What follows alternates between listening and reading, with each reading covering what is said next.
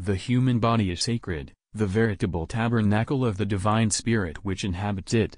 It is a solemn duty of mankind to develop, protect, and preserve it from pollution, unnecessary wastage, and weakness.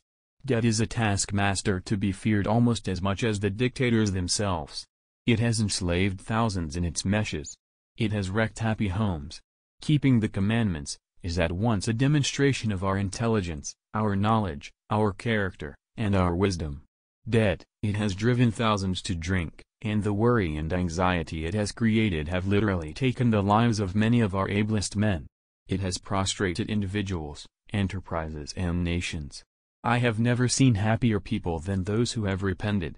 I give to my friends the assurance that if they will recast their ideas and attitudes about the relative importance of the spiritual to the material, and bring themselves to participate in the mighty cause of establishing God's kingdom in the earth, they will find a satisfaction, a sureness of purpose, a peace and contentment, surpassing anything they have ever known.